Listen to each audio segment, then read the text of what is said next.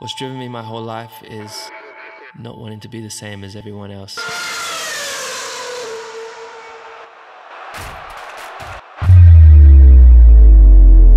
For me, it's always about what's next.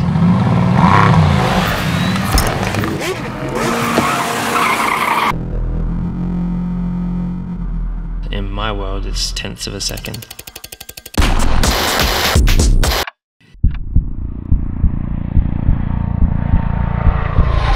I always wanted to be great at everything I did. You have one life, so whatever you do, you have to step up and be that person. Prove it to yourself. I challenge you. Dare to be different. Dare to be great is there in all of us. Drive. I'm just getting started.